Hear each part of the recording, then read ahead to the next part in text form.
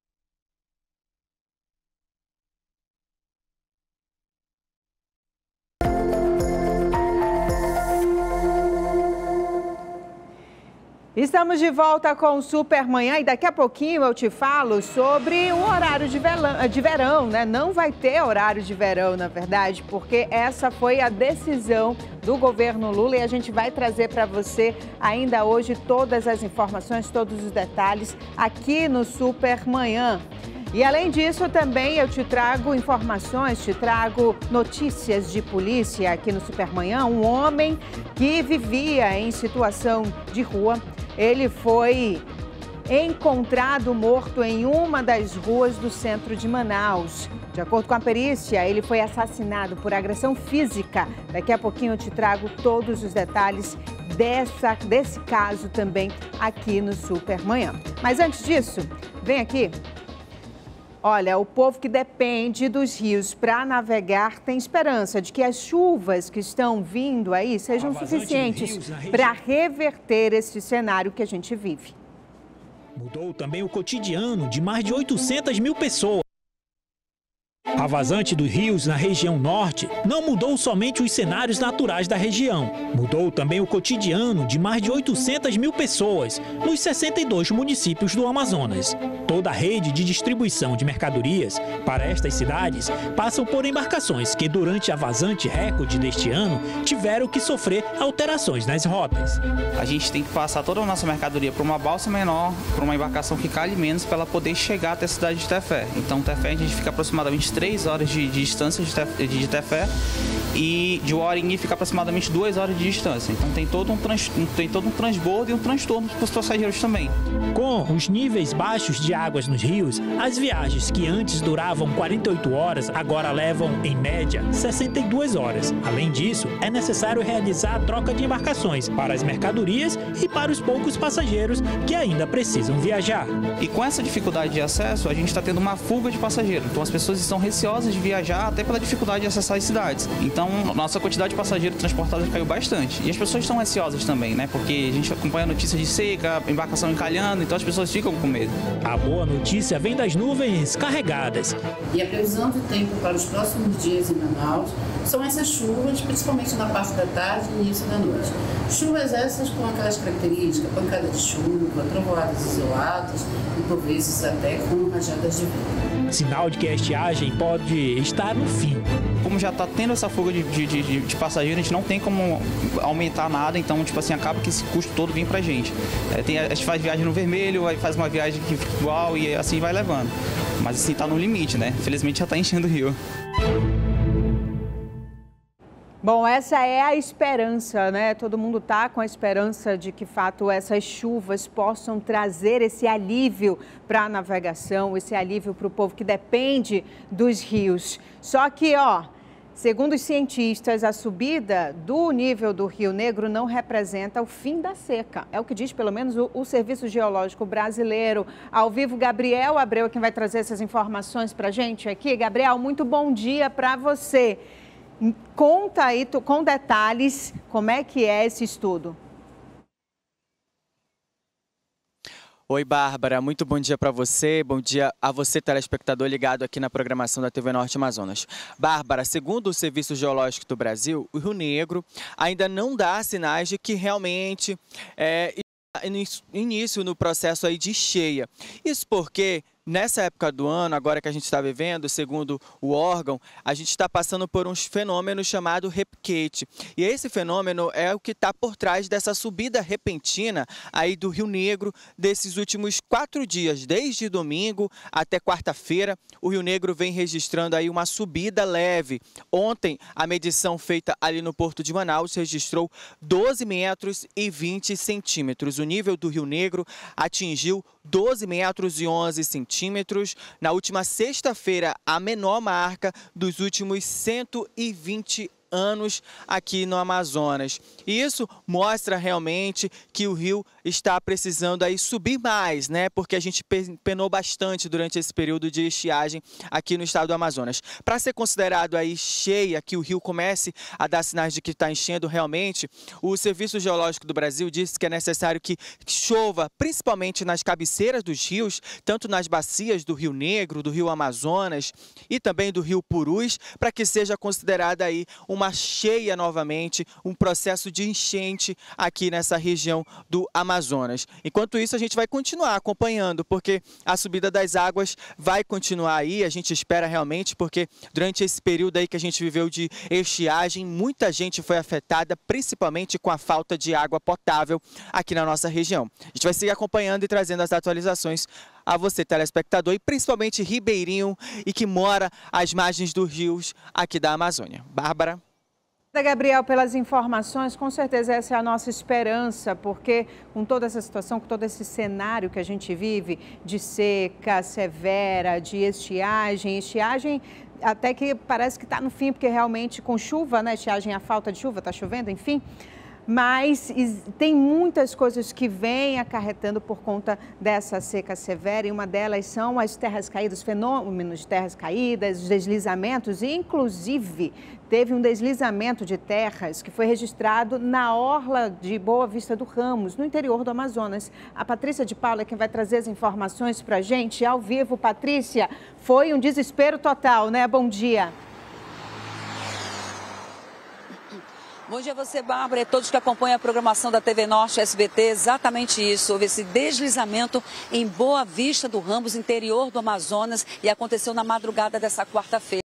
De acordo com a Defesa Civil, não há registros de feridos, mas duas embarcações que estavam no local ficaram completamente danificadas, mas ainda assim não houve também registro de feridos por conta dessas embarcações. Agora, toda aquela área foi isolada e as embarcações que estavam ali no local teve uma solicitação para que elas tivessem, para que elas sejam retiradas do local. De acordo ainda com a Defesa Civil, em maio desse ano foi baixado um decreto falando exatamente das embarcações que atracavam naquele local local, que não poderiam atracar por conta de um muro que foi construído e esse muro precisaria de pelo menos um ano para a cura, ou seja, para criar aquela resistência para aí sim funcionar naquele local, o que não aconteceu porque ainda não completou esse ano e por isso foi pedido para que sejam retirados. Essas embarcações que estão no local, elas vão ser notificadas e aquelas reincidentes, elas serão multadas. Mas ainda tem uma outra nota aqui da Defesa Civil que fala o seguinte: a Defesa Civil do Amazonas informou que tem reforçado o monitoramento contínuo em todo o estado para mapear áreas de risco e com alertas de orientação que estão sendo enviados aos municípios para que sejam implementados planos de contingência em casos de fenômenos naturais, como nós estamos acompanhando agora em Boa Vista do Ramos e há pouco tempo em Manacapuru. Volto com você ao estúdio. Obrigada, Patrícia de Paula pelas suas informações. E é como a Patrícia falou, em pouco tempo a gente teve aí uma tragédia em Manacapuru, outro município de, do interior do estado do Amazonas. Gente, foi um deslizamento que aconteceu no porto da Terra Preta. Foi no dia 7 de outubro. A gente trouxe para você todas as informações e as atualizações. Nossas equipes ao vivo, inclusive de lá de Manacapuru. E na ocasião, uma criança de 6 anos e um homem de 36, 37 anos morreram. E outras 10 pessoas ficaram feridas. Nesse caso aí de Boa Vista do Ramos, graças a Deus não houve feridos nem mortos. Mas desse de Manacapuru, infelizmente, houve. O Ministério Público do Amazonas informou que vai investigar o deslizamento. O órgão informou que a terceira promotoria de justiça já iniciou a coleta de provas e orientou a adoção de medidas urgentes para garantir a assistência adequada a todas as vítimas. Isso em Manacapuru. Estou falando de Manacapuru porque também está sendo investigado. Você viu aí que foi algo terrível que aconteceu lá. Além de assegurar também o atendimento imediato à população afetada, a investigação se concentrará em identificar os fatores que podem ter contribuído para o deslizamento e verificar se houve falhas nas ações preventivas. Isso porque a gente já trouxe aqui, inclusive, durante a programação da TV Norte Amazonas, alguns mapeamentos que foram feitos anteriormente. Tem uns aí de 2014 que mostram pontos que poderiam ter esse fenômeno de terras caídas, que poderiam ter deslizamentos, desabamentos de terra aqui no estado do Amazonas, em vários municípios. E a gente vai continuar acompanhando e trazendo todas as atualizações desse caso também para você. Olha, tem serviço também aqui no Supermanhã, sim, atendimentos do PAC Via Norte estão suspensos por tempo indeterminado e a gente vai saber por quê com a Rabeste Maia ao vivo, porque ela vai trazer essas informações atualizadas para a gente. Rabeste, muito bom dia com você. Oi, Bárbara, muito bom dia para você e a todos. É isso mesmo, essa suspensão dos atendimentos, do pronto atendimento ao cidadão do, do, do Shopping Via Norte, que fica ali naquela zona da cidade, aconteceu devido ao comprometimento das instalações do prédio por conta de uma forte chuva durante esta semana agora, onde as instalações acabaram sendo prejudicadas e parte do prédio acabou tendo prejuízos. Devido a isso, a Secretaria de Estado de Direitos Humanos e Cidadania, a Sejusc, fez a transferência dos atendimentos é, diretos ali de alguns locais para outro shopping da cidade que também fica na zona norte da capital amazonense, que é o Suma Uma Parque Shopping, que fica na Avenida Noel Núteus. Para essas pessoas que desejam atendimento para como por exemplo, Junta Militar, Detran, AFEAM, Cartório de Protesto, Correios, PROCON, Receita Federal, CEA, Cefaz e também carteira PCD ou passe legal, esses atendimentos estão sendo atendidos diretamente no Sumaúma Parque Shopping, ali no PAC que fica dentro desse shopping center. Então, para quem fazia esse tipo de protocolo direto no Manaus Via Norte pode comparecer ao Suma Uma mas as pessoas que estavam em processo direto de algum tipo de situação, como por, como por exemplo a Secretaria de Segurança Pública e também processos da Águas de Manaus, precisa esperar um pouco, porque em breve a Sejusc vai lançar o local de atendimento, datas e horários. Bárbara. Obrigada, Rabeste, pelas suas informações. Olha, fique atento. Eu sei que é uma distância muito grande é, do ali do Via Norte lá para o Sumaúma né, não é tão perto ali, quem mora naquelas mediações do Via Norte, vai ficar complicado, eu sei disso, mas acompanhe a gente aqui que a gente vai trazendo atualizações de quando que vai voltar a funcionar o PAC ali do Via Norte, ou se de repente vai para outro espaço, né? A gente vai estar tá trazendo essas atualizações aqui na, na TV Norte Amazonas e também no portal norte.com.br. Por falar no portal, vou vir para cá, para essa outra câmera, para essa outra tela, porque eu quero mostrar aqui o que é destaque no portal. Coloca aqui na tela, vamos lá? Olha, amazonenses com débitos na justiça podem pagar via Pix. Saiba como, é só acessar o portal norte.com.br. A iniciativa busca otimizar o tempo dos envolvidos em processos. Todos os detalhes você encontra ali no portal norte.com.br. E olha, no próximo bloco eu vou trazer aqui para você um incêndio. Um incêndio que aconteceu em um posto de combustível flutuante. Isso em Coari, no interior do Amazonas. Eu vou trazer para você todos os detalhes daqui a pouquinho aqui no Super Manhã. E além disso, vou trazer também uma outra situação uma situação que moradores de um condomínio aqui de Manaus estão denunciando, denunciando um síndico por um golpe milionário. Daqui a pouquinho eu te trago também todos esses detalhes aqui no Super Manhã. Não sai daí.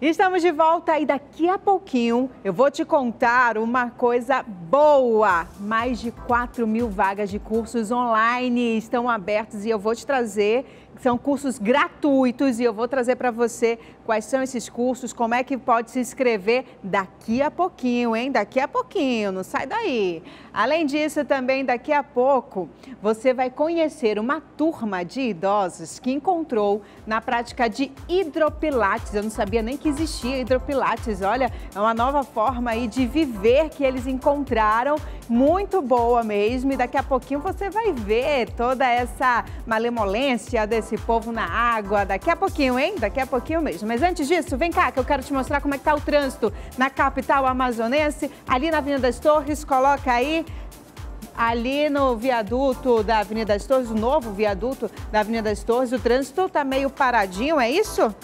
Tá paradinho já aí, né? Nessa faixa. Isso por conta lá da bola do coroado.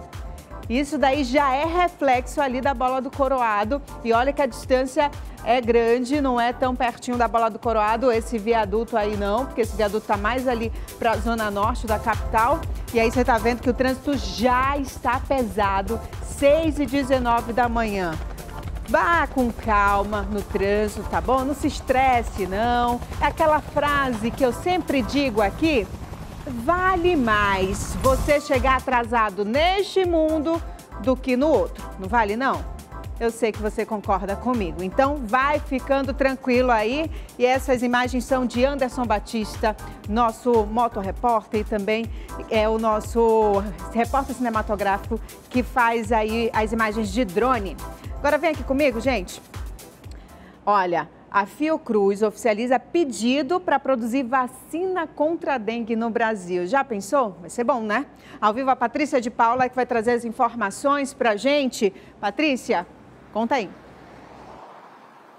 É isso. É isso mesmo, viu, Bárbara? A Fiocruz, a Fundação Fiocruz, formalizou um pedido ao Ministério da Saúde para que seja aí feita essa vacina contra a dengue e possivelmente aí voltada à fabricante, que é a Taqueda, que é a mesma fabricante da Odenga, essa, essa vacina que já tem aí um sistema único. Agora, deixa eu te falar que esses números aqui que são apavorantes. Olha só, o monitoramento de arboviroses foram mais de 6 milhões e 500 mil casos prováveis de dengue, com 5.613 mortes confirmadas por dengue. Então, a situação é um número alarmante. Por isso que essa fabricante da queda, ela foi convocada até caso seja passado, caso o Ministério da Saúde aceita, ela será a possível fábrica a fazer esse tipo de vacina. Até porque tem vacinas que já foram contratadas aqui pelo Brasil, que foi usado em 2024 e que precisam ser usado em 2025. E aí eles vão fazer um remanejamento da tecnologia para essa vacina para que seja atendida essa classe em relação à voltada aí à dengue. A previsão é que ainda esse ano o pedido de registro seja submetido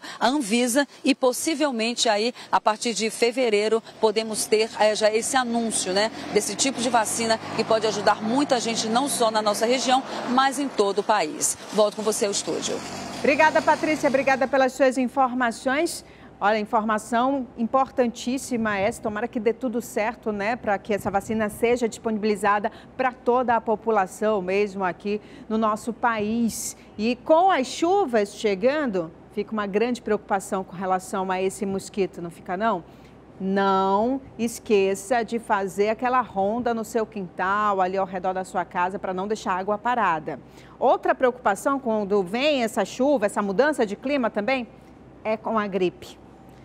E ó, tem vacinação para gripe, para influenza. O shopping tem um shopping na zona oeste de Manaus que vai realizar a vacinação contra a influenza. E o Gabriel Abreu é quem vai trazer as informações para a gente ao vivo. Gabriel Abreu, conta aí os horários, como é que vai ser?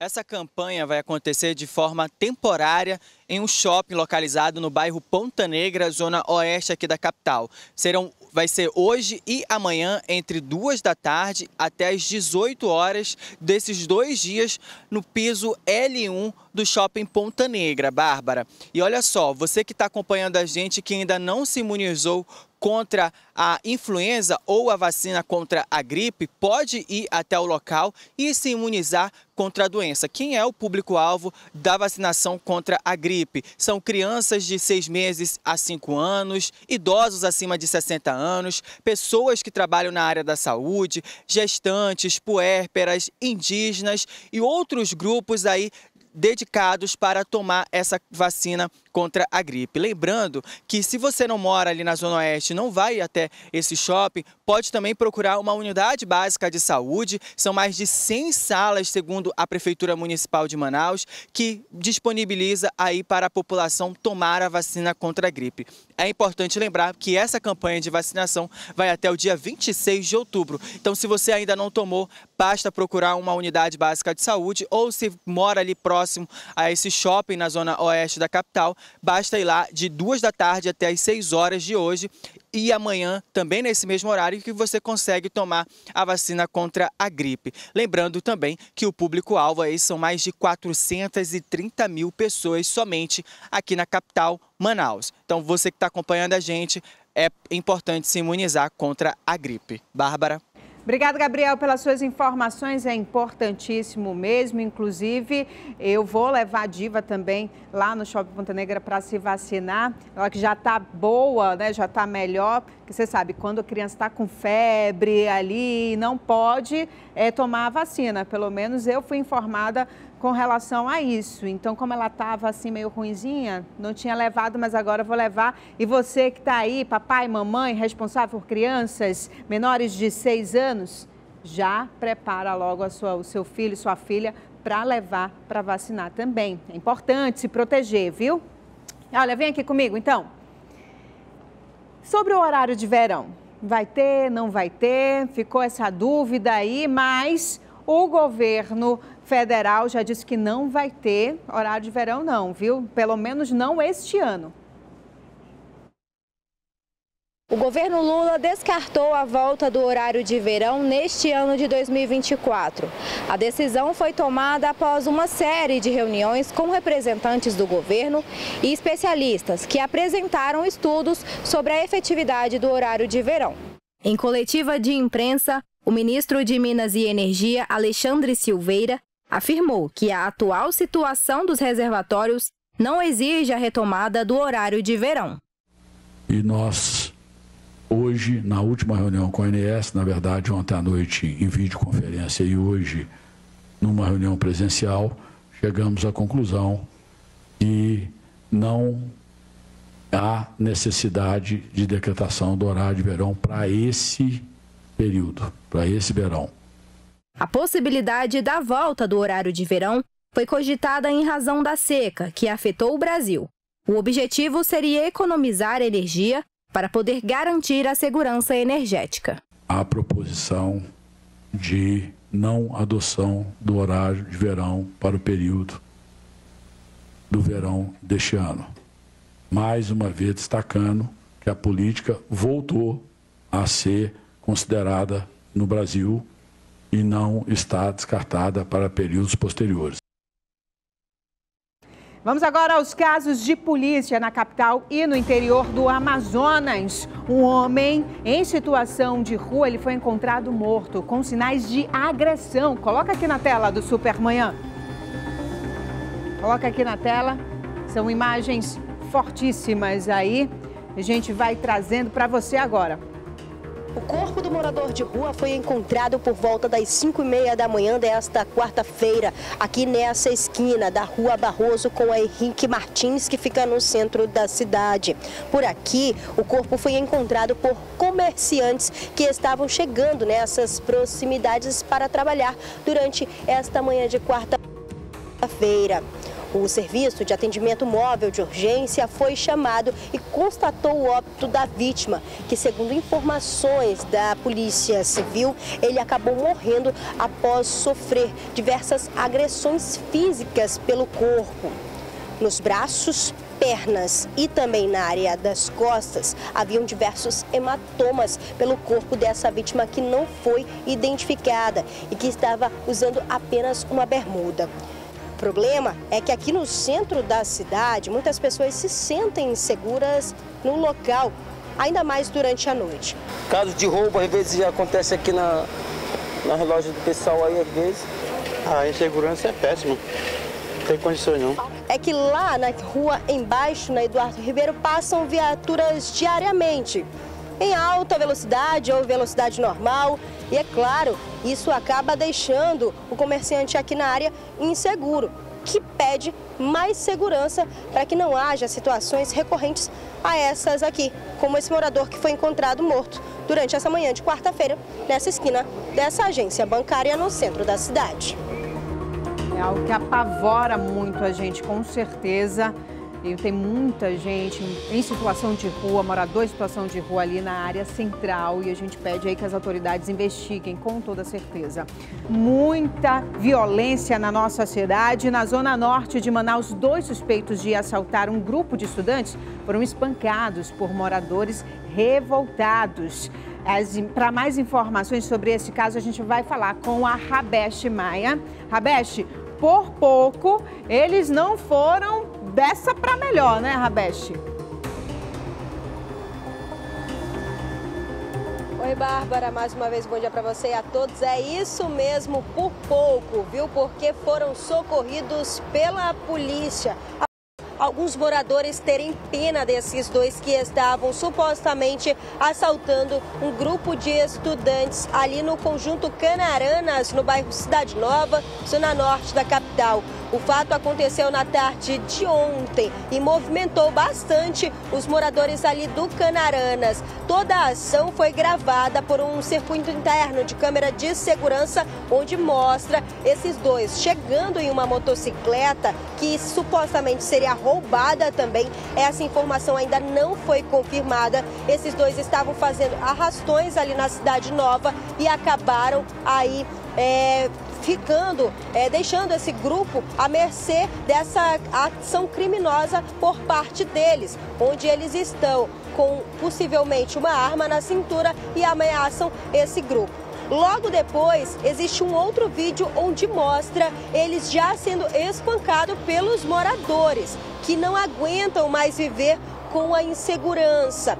Eles acabaram sofrendo uma tentativa de linchamento, inclusive a gente já deixa o alerta para a população não fazer justiça com as próprias mãos, Bárbara, porque por mais que nós estejamos cansados dessa falta de insegurança, falta de segurança, perdão, aqui na cidade de Manaus, não podemos nos igualar com pessoas e criaturas como essas aí, que praticam mal, porque não vai demorar muito, né? É, eles vão acabar sendo soltos. Eles foram socorridos por policiais da 6 Companhia Interativa Comunitária, foram levados até o Hospital e Pronto Socorro Platão Araújo, no bairro Jorge Teixeira, na zona leste da capital, para receber atendimento médico. E depois disso foram levados para a carceragem do 6 Distrito Integrado de Polícia, onde permanecem nesse momento à disposição da Justiça. E hoje vão saber aí qual vai ser o final deles, se vão para a cadeia de fato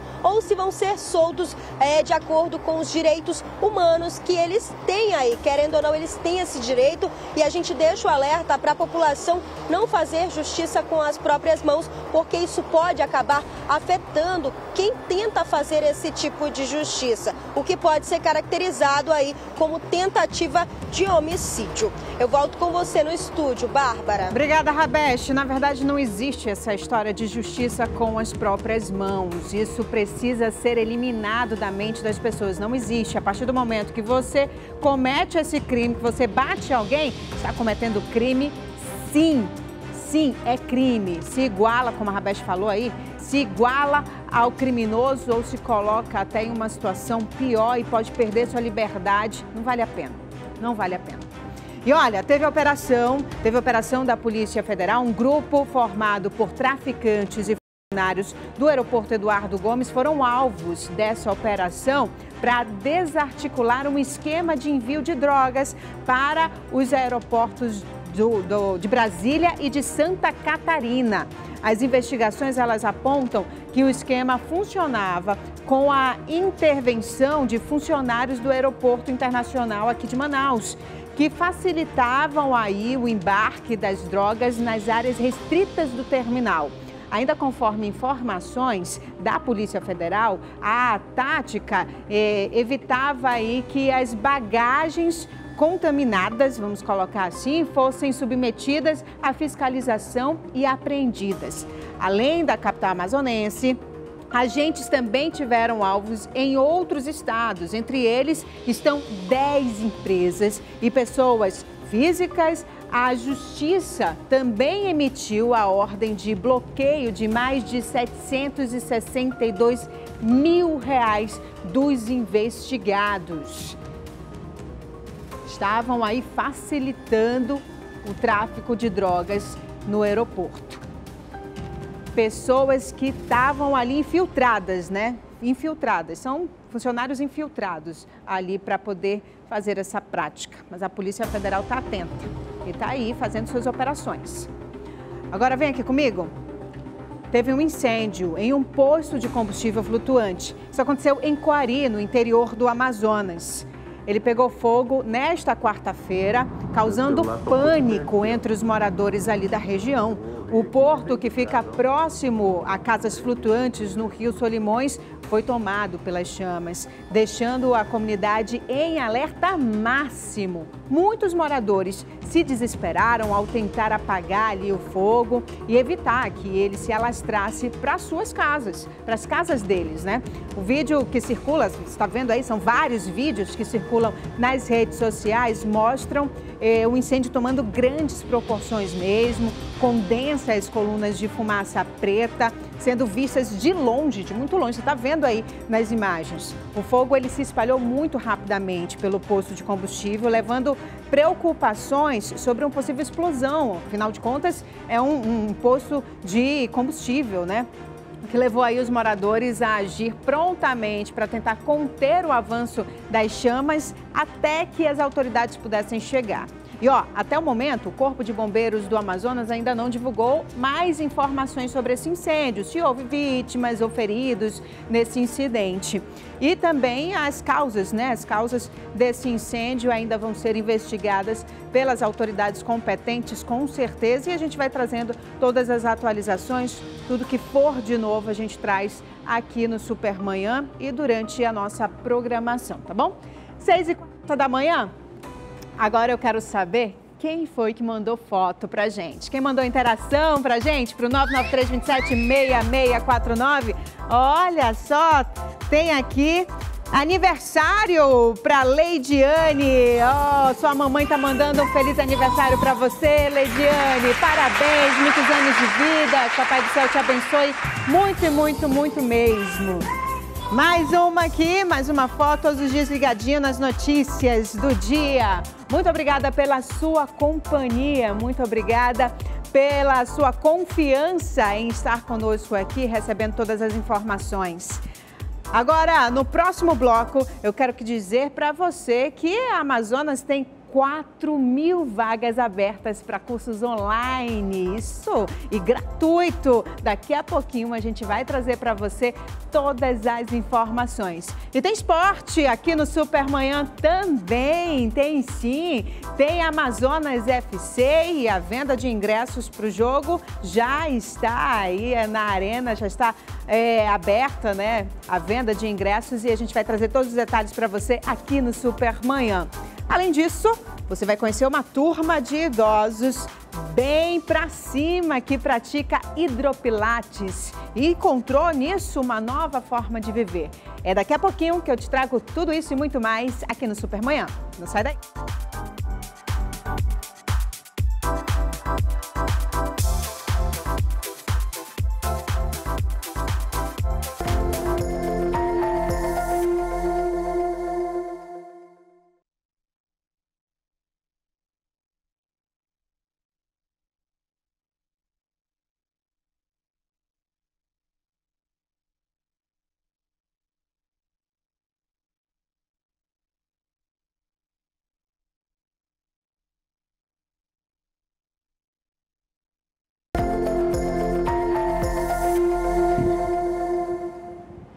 Estamos de volta e eu quero mostrar para você como é que está o trânsito na capital amazonense e como é que está a movimentação dentro do terminal. É o Terminal 5.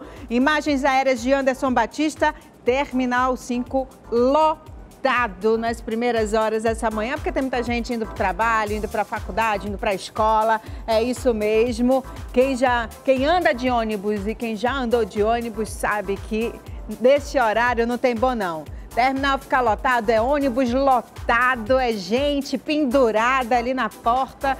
É, infelizmente, essa é a nossa realidade. E aí a gente mostra para você também a movimentação no trânsito ali na zona leste da capital amazonense, fluindo bem por ali pelo menos. E olha que são vias ali importantíssimas que é, diariamente milhares de carros e motos e caminhões passam por ali, né? Ônibus também veículos no geral.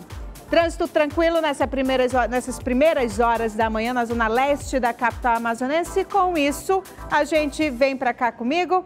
A gente vai falar sobre cursos, uns cursos que estão abertos aí. Natal, ele é só em novembro, mas esse é um momento, em dezembro, né? Novembro não, em dezembro. Novembro é meu aniversário, mas está tudo bem. É, e com esse momento festivo do Natal, tem muita gente que quer ir ganhar uma graninha extra, não é verdade? E para isso é importante o quê? Se preparar, se capacitar, não é não? Então, a gente tem umas dicas aqui de cursos gratuitos que vai ajudar você. A Rabesh Maia vai trazer para gente esses cursos, como é que se inscreve, quando que começa. Fala aí, Rabesh. Oi, Bárbara, é isso mesmo. Para quem quer ter aí uma extra durante esse final de ano, que está bem pertinho, passou voando, pode fazer esses cursos gratuitos, que são mais de 100 ofertados pelo Serviço é, Brasileiro de Micro e Pequenas Empresas, o SEBRAE, que está com esses cursos gratuitos, hein? Com diversas áreas. Por exemplo, logística, administração, finanças, empreendedorismo, marketing e outros temas ligados a vendas e empreendedorismo, já que é a parte que mais cresce durante o fim do ano, principalmente nas vendas de roupas e até mesmo sapatos. O apoio né, à população acontece por parte do Sebrae em todo o Brasil com certificados autenticados aí em cartório, no qual as pessoas podem se inscrever nos cursos através do site, onde vai acessar o site, vai entrar aí em uma aba, para fazer o cadastro e após esse cadastro vai receber um e-mail de confirmação com link para poder acessar o ensino à distância. Lá você vai fazer todas as etapas desse estudo à distância e depois de concluir aí, por exemplo, um curso, você pode emitir o seu certificado com a autenticidade aí do Sebrae, no qual você pode levar em cartório. E é claro, depois disso você também pode ter a oportunidade de fazer outro curso. É uma coisa muito bacana no qual a Sebrae está proporcionando para a população que quer ganhar uma extra aí durante esse final de ano aqui é, em Manaus e em todo o Brasil. Ainda não há datas previstas é, a respeito de que é, pode emitir algo do tipo, horário, mas é, em, breve, em breve vai estar disponível para quem quiser acessar o site do Sebrae e saber mais informações. Bárbara. Obrigada, Rabeste, pelas suas informações. E não é só isso, não. Tem também cursos online gratuitos. Tem quatro, mais de 4 mil vagas abertas aí para conectar jovens com o mercado de trabalho. Quem vai trazer essas informações para a gente é o Gabriel, é a Patrícia, a Patrícia de Paula aqui, é claro. Patrícia, conta para a gente como é que é esse projeto, como é que funciona, as inscrições já estão abertas?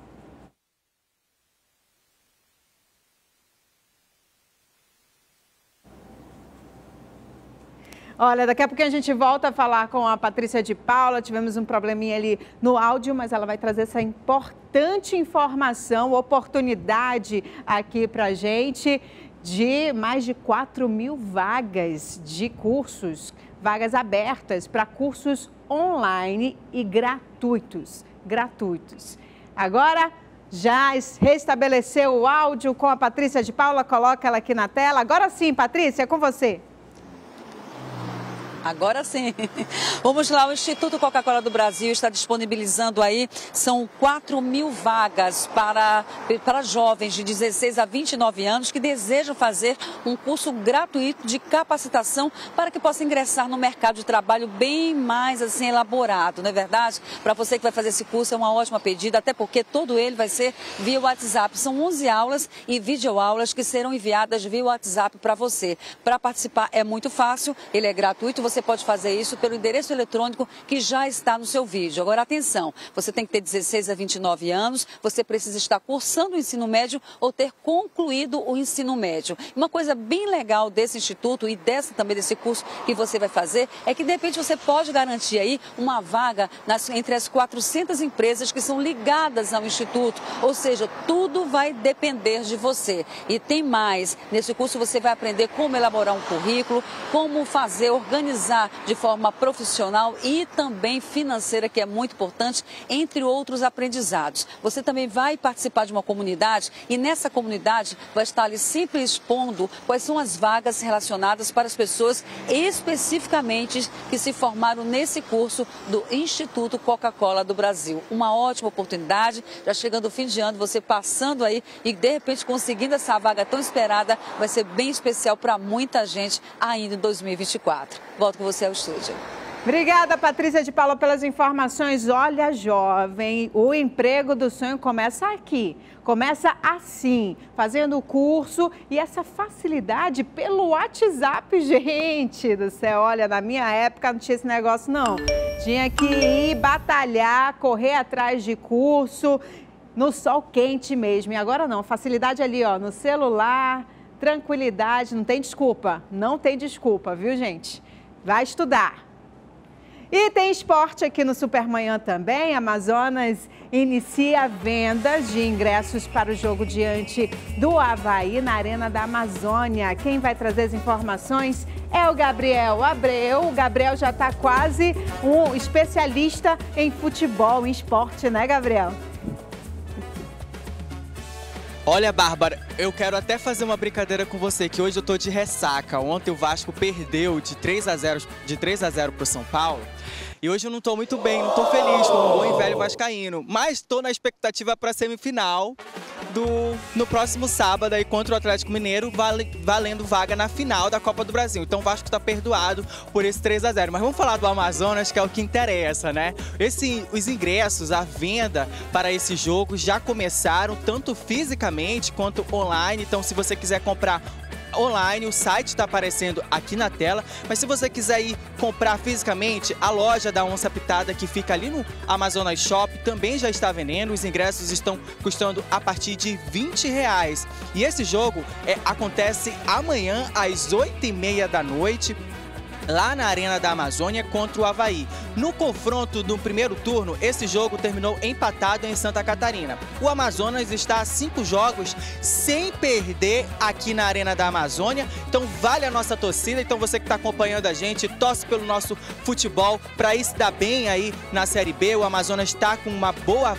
colocação, né? Tá na 11 colocação com 42 pontos, mas quem sabe o nosso time possa brigar ainda para subir para a Série A. Então vale a nossa torcida, jogando aqui em casa, o Amazonas é sempre favorito. Então você que está acompanhando, gosta de futebol, numa sexta-feira à noite, é só ir para a Arena da Amazônia. Esse jogo está marcado para amanhã às 8h30 da noite, aqui pelo horário de Manaus. Bárbara, se eu fosse você, não perdia. E eu sei que também que você é vascaína, então a gente está perdoado, né? Que hoje o Vasco vai jogar no sábado aí para semifinal da Copa do Brasil. Então a gente está na maior torcida expectativa para que o Vasco vá para a final do, da Copa do Brasil. Bárbara, volto com você.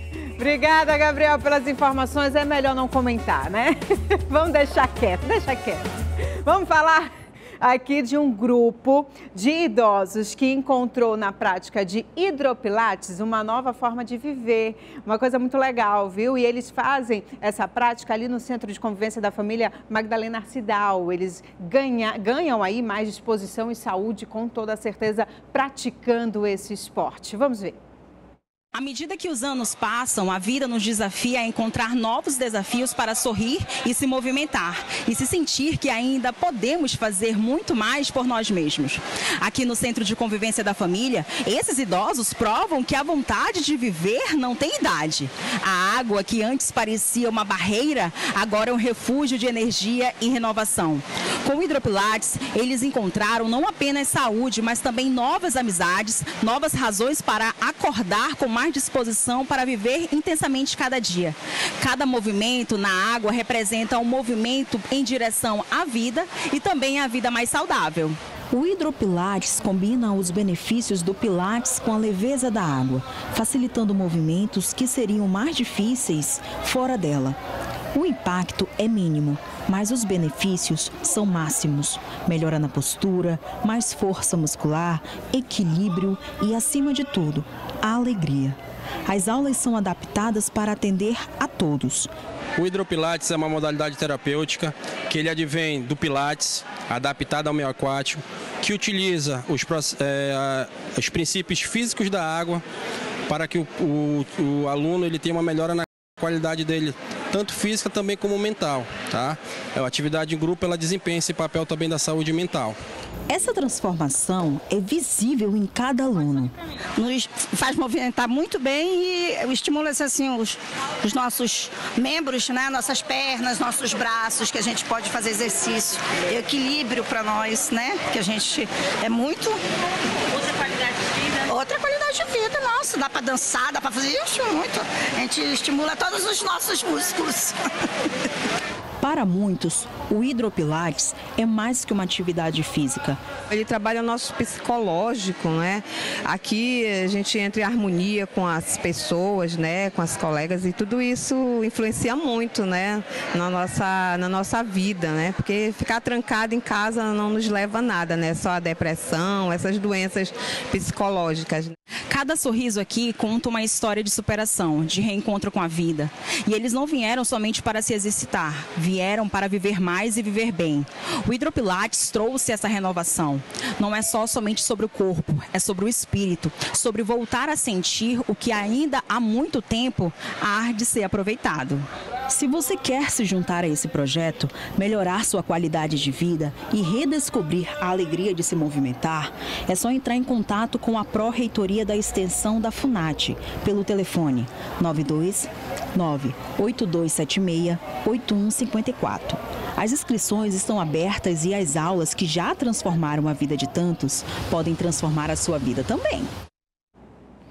Que maravilha, né? Tão bacana. Eu gosto muito de fazer hidroginástica, eu confesso. Até porque é ótimo fazer exercício de baixo impacto, ali de pouco impacto. É ótimo fazer exercício na água para quem tem problema de coluna. Isso independente da idade. Não precisa ser só idoso não para fazer hidroginástica, hidropilates agora, né? Tem essa nova modalidade aí que é muito bacana. Fiquei super interessada. Você também? Então já procura aí para poder fazer também, né? Legal que lá na Magdalena Cidal é de grátis.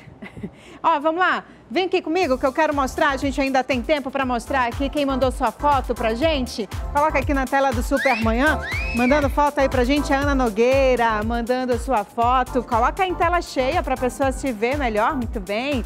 Ah, outro também aqui, mandando lá do Nova Cidade, é o Renilson. Renilson, um abraço para você também, viu?